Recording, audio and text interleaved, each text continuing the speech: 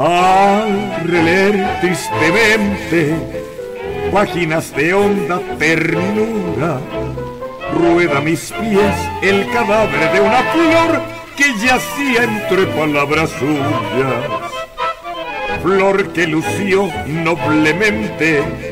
con pintoresca hermosura, prueba de afecto profundo en el ayer y hoy fantasma del fugaz querer